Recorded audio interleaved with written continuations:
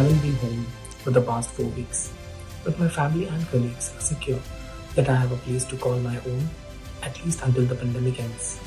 Thank you for caring for frontline soldiers in this war. We really appreciate it, and it helps us to do our duties with even more passion. Thank you. आम्हाला काय हवं काय नको यात आत्मीयतेने लक्ष घातलं आम्ही हॉस्पिटलमध्ये कामाला आहोत आमचा आहार कसा हवा आम्हाला कोणत्या गोष्टीची गरज आहे असे जाणीवपूर्वक त्यांनी प्रत्येक गोष्ट आम्हाला दिलेली आहे.